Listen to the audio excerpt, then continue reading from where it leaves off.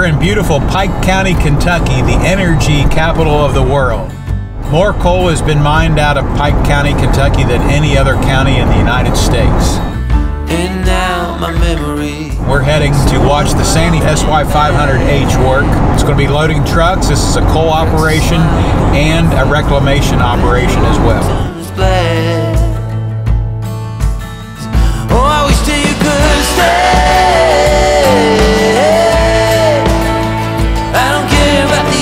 Here with Sean Dials, the superintendent for CRS. And Sean, this is typically a wheel loader operation. Why are you using the SANY 500 excavator on this job?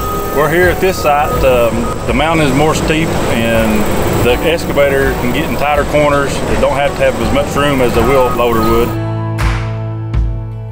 We can get more production out of the excavator than we could uh, wheel loader. Now you're loading these 60 ton trucks. About how many loads a day are you getting? We're getting roughly 90 to 100 loads a day, which is roughly 4,500 yards a day. Now, are you happy with that production? Oh yes, we're getting a lot of production with them.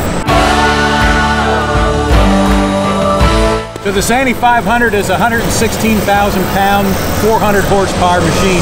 So it's a little bit bigger than a Cat 349. How does it compare to production wise versus the Cats that you use? My experience with them so far is uh, a lot more power. A Lot more Uh, power. Yeah, it's real durable, and uh, overall, it's a lot better machine, I think. Why do you need that kind of power on this job? Well, as you've seen, we have some very big rocks here, and uh, it will load just about as big as rock as you can put on the truck. So we need a lot of power for that. A lot of power for that.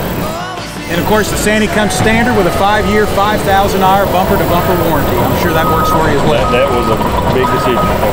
Got it. Well, thank you very much. Thank you.